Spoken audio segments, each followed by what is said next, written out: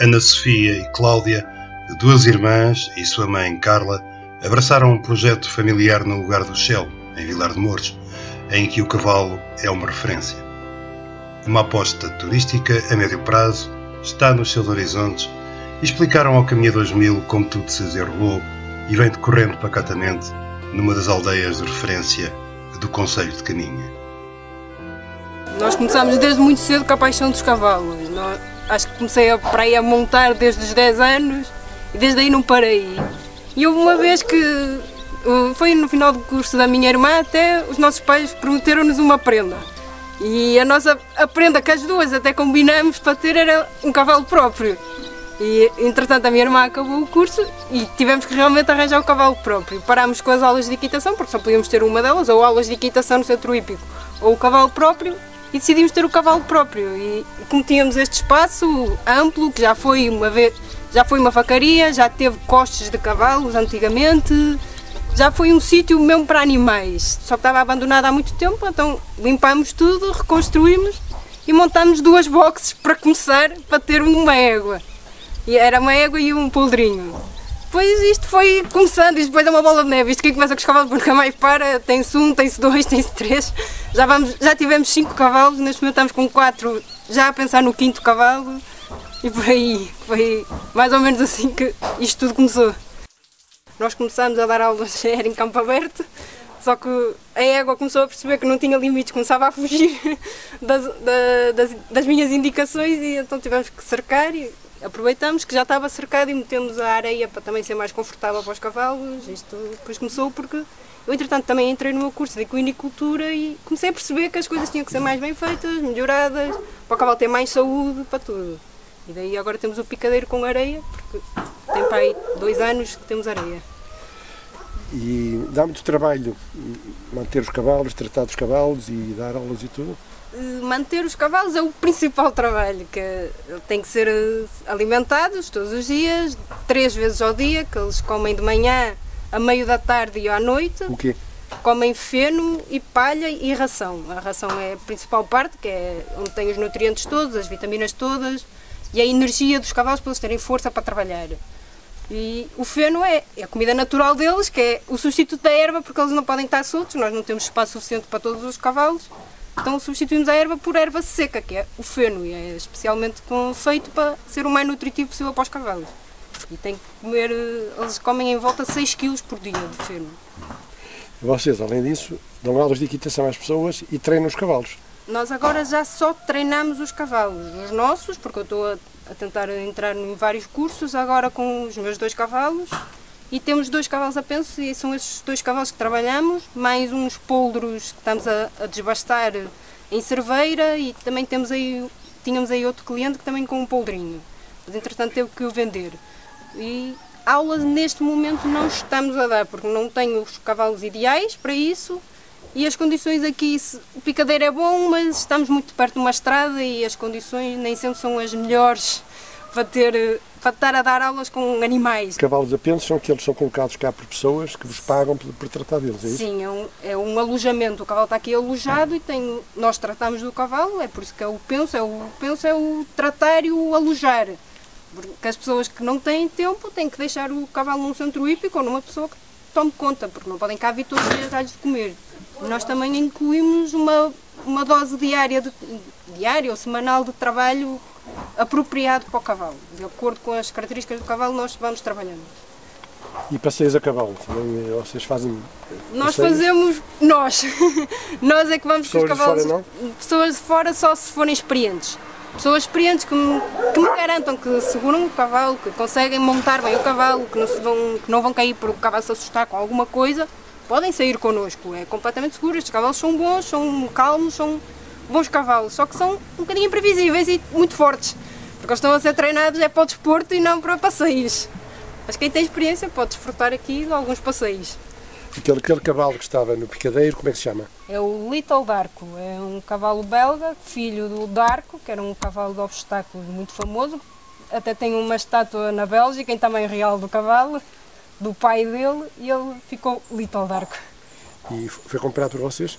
Foi comprado por mim no, quando ele tinha 4 anos. Ele foi comprado, ele veio de Espanha aos 6 meses, foi para Vila Nova de Gaia. Entre, passaram esses 4 anos, o cavalo foi desbastado no, no antigo dono, foi ensinado e eu depois gostei do cavalo e comprei-o. E está desde aí comigo. Está agora com 8 anos. Trabalhas com outros cavalos, com os outros? Sim, vou, tento trabalhá-los todos, quase todos os dias, tendo uma folguinha ou outra de vez em quando, que eles também precisam. Quantas de... horas por dia? Geralmente é de trabalho mesmo, não chega a uma hora. Costuma ser meia, 45 minutos, porque os cavalos não aguentam muito tempo, porque é um, um nível de esforço bastante exigente. Se for um passeio para desfrutar só o dia porque está bonito, ou porque está a chover muito e não podemos ir para o picadeiro, aí podem chegar a trabalhar duas horas. Porque a passo, em passeios, aguentam muito tempo. É, estes cavalos eh, adaptam-se bem aqui a estas circunstâncias? Sim, os cavalos são animais que se adaptam muito facilmente a qualquer condições. É, é até por isso que alguns são muito maltratados, porque eles nunca negam. Eles aceitam as condições, são muito submissos, são animais muito fáceis porque se adaptam a qualquer situação.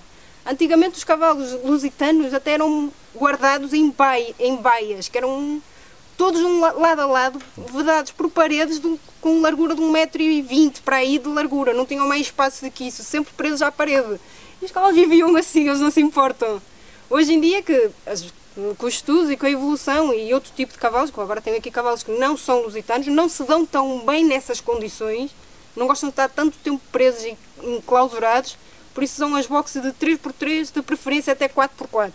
Aqui temos 3x3 avantajados não são certas. Vocês fazem, digamos, mais trabalhos artísticos com os cavalos ou também fazem uh, saltos, corridas? Nós fazemos é principalmente o ensino, o, o mais conhecido por dressage, que é a principal disciplina inglesa, e obstáculos, é a nossa principal vertente. Também já vou dando uns toquezinhos no cross country, que é, que é correrem e saltarem obstáculos fixos, naturais, como árvores caídas, ribeiras, rios. Também vou fazendo um bocadinho disso. Mas é há pouco tempo que estou a iniciar isso. É, vocês já participaram em concursos? Sim, eu já participei em vários concursos, enquanto estive no meu curso fiz várias provas. Desde que vim para casa também já fizemos provas de ensino com o meu cavalo e até com a pônei que tínhamos. Já fiz outra vez outra prova o ano passado com, com o meu cavalo. O ano passado não, até foi este ano mesmo. Tenho vídeos na internet da prova. E sempre que aparecem provas, o nosso problema aqui no Norte é que temos pouca disponibilidade, poucos científicos a fazer provas.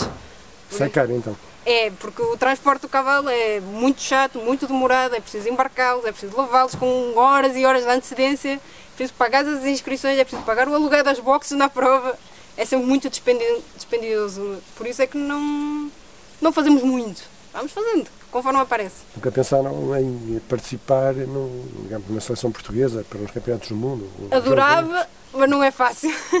que é muito caro. É muito caro e é, dá muito trabalho e é preciso ter muito mais pessoal, que é preciso fisioterapeutas para o cavalo, é preciso treinadores mais específicos, é preciso alojamentos melhores, mais disponibilidade.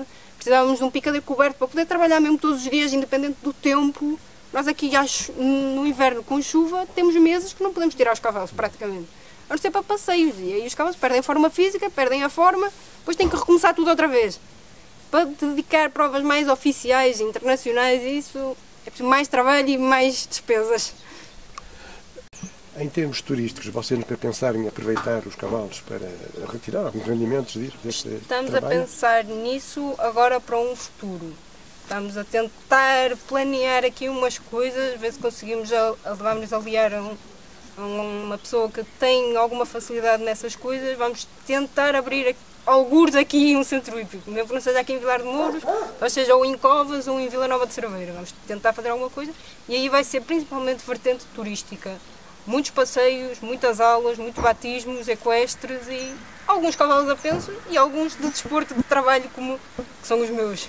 Se as pessoas quiserem contactar com vocês aqui no lugar do Chelo, como é que poderiam fazer? Nós temos Facebook, que se chama mesmo Quinta de Chelo, e, temos, e onde podem uh, onde podem escolher comunicar por e-mail, por até mensagem privada do Facebook, estou bastante regular no Facebook, e, ou então tirar o telemóvel que também temos disponível no, no Facebook e telefonarem. Vocês conhecem todo, todo tipo de cavalos que existe no mundo. Qual, qual é aquele que vocês apreciam mais? Conhecer todos é muito difícil, porque eles são mesmo muitos e há raças de cavalos que até ainda são mal conhecidas. Mas há sempre aqueles principais, é o nosso cavalo lusitano, que é um, é um bom cavalo, tem muita, é muito variável no trabalho, dá para fazer várias coisas com eles. Tem vindo a brilhar bastante no ensino. Nós quase tivemos uma égua lusitana a entrar nos, nos Olímpicos, que era a batuta com o Gonçalo Carvalho. É um bom cavaleiro que conseguiu levar o lusitano alto. E também já há quatro anos foi com o Rubi, que também era um cavalo alter real, que também é lusitano. Essa é a principal raça. Depois, de minha preferência principal, é os cavalos belga, os anovrianos, esses cavalos mais quentes, mais desportivos, que já têm mesmo sangue de cavalo de desporto. É os que eu prefiro. Também é um projeto familiar, pelo que sei. Sim, nós aqui todos trabalhamos um bocadinho em família. Sou, sou eu a principal tratadora e que monto os cavalos, escolho os cavalos, aconselho as pessoas. Tenho a minha irmã que me dá apoio a, a, na limpeza dos cavalos, no aparelhar, durante as aulas e até mesmo durante o trabalho, por exemplo, para, para ir ajustando os obstáculos. Isso a minha irmã é que me ajuda. A nossa mãe, que é enfermeira veterinária, ajuda nos, nos tratamentos de ferimentos dos cavalos, lesões, até algumas injeções que seja preciso dar. A nossa mãe tem formação específica para isso. E também o nosso pai, que é o principal arquiteto das instalações, foi, foi ele e nós, todos em conjunto, que fizemos isto tudo sozinhos, à mão, com o tempo, com calma. Por isso isto é tudo em família.